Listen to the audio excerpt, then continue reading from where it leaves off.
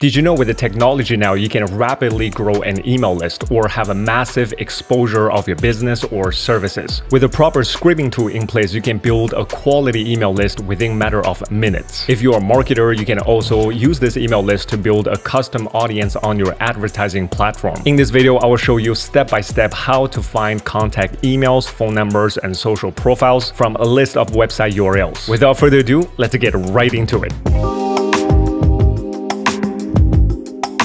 Right before getting to the fun stuff, it's really important to mention a few notes here. Number one, with the scripting data and emails, you don't want to spam people or businesses. And secondly, don't send too many email requests within a short period of time. There's a higher chance your email will marked as a spam. And thirdly, you want to have a legitimate interest, either your business or your services or your products actually solves tangible problems for these list of emails you're trying to reach out. And number four, you don't want to breach GDPR. Either you're from EU country or you're trying to script data from EU country country, you definitely don't want to breach that. Last but not least, you might want to consult with your local lawyer or read a little bit on your local law to make sure whatever you're doing is legitimate and you're not against the law. With that said though, here is a list of websites we're going to script as a demonstration in this video. You can see mainly it's a real estate dominated niche here. And now let's quickly touch on the scraping tool we're going to use for this tutorial.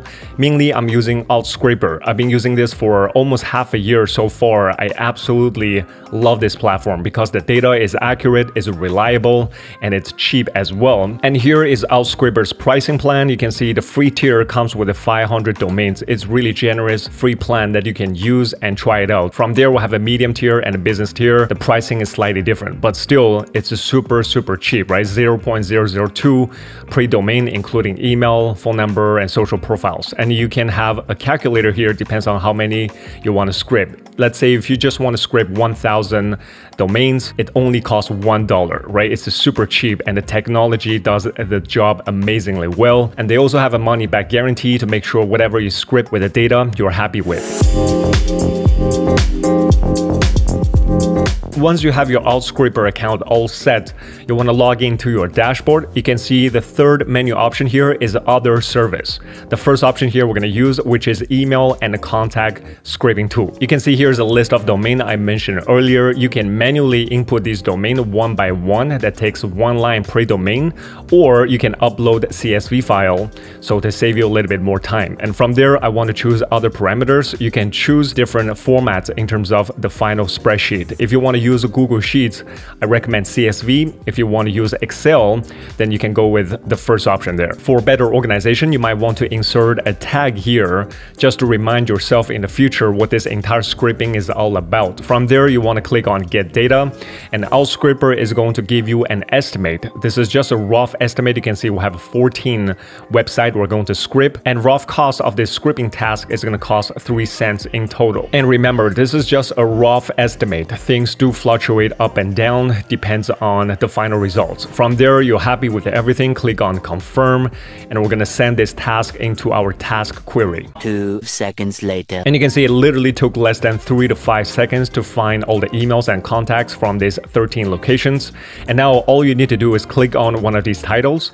It'll automatically download the CSV file. Here's the final CSV file. I'm ready to upload it to Google Sheets. So the first thing you want to do is open a blank sheet. You want to click on file. You want to click on import. And just click on the last option which is upload and you want to drag and drop this file into this box. And just a friendly reminder here if you go with a CSV file it will give you the option to replace the current sheet. However if you script the Excel file then you don't have this option to replace the current sheet. It will force you to create a new sheet in that case. And the settings are all good. Click on import data. And here's the entire data sheet. We uploaded to Google Sheets. First thing what I like to do is to click on the top left corner select the entire sheet come to the end of any of the columns and you want to do a double click and this will stretch the column to make everything fit. And now let's quickly review these columns, the data points to see what Outscraper provided to us. First column here is a query column. So you can see here's a 14 website I input into the system. In total, Outscraper is going to find the best three emails from that website. You can see email number one, here's the entire list, and here's the full name. If it's empty fields, that means the website didn't indicate any full name or title. From there, we found email number two,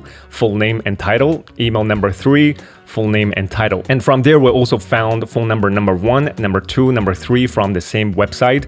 And we also found their Facebook account. These are mainly the pages. And we found the IG, Instagram account. We have LinkedIn. And here's a list of social media platforms, even though this website is not on these platforms, but Outscraper is still looking for Reddit, Skype, Snapchat, Telegram, and WhatsApp. And towards the end, we can see Twitter, we found a whole bunch of them. Vimeo is included as well. If you want to find their YouTube channel, here it is. And towards the end, you can see here's a website title. For example, if you offer local SEO service, it's really important to make sure their website title has the keywords and it's optimized, right? If you find anything that needs optimization, that's probably a good time to reach out. And from there, we have a website generator. This is one of my favorites as well. You can quickly glance to see what website builder they used to build their website. You can see here's WordPress 5.7.2. Another tip here, if you find their WordPress is outdated and if you offer web design service, this is a really good intro or opening line that you can tell them that their WordPress has been outdated and it's really important to update their website database. And from there, we have a website description, more like metadata. And the last two columns here indicates if they are running paid advertisement or promotion. You can see Facebook pixels and a lot of them are false or unknown. If you see true, that means this business might be running Facebook ads, right? If you see false, and if you run local advertisement agency, then it's really good time to reach out to them. They're leaving a lot of money on the table by not running Facebook advertisement. And from there, we have a Google tag as well. You can see this website has the Google tag installed, but has not yet installed Facebook pixels on their website. By now, you have just learned how to leverage technology and scripting tool like Outscraper to find a list of contacts, phone numbers, social profiles with a list of domains and URLs. If you have any questions, comments, or observations, drop them below. We're happy to address them in the future tutorial videos. This is Tario Sultan signing out. I will see you guys in the next one. Cheers.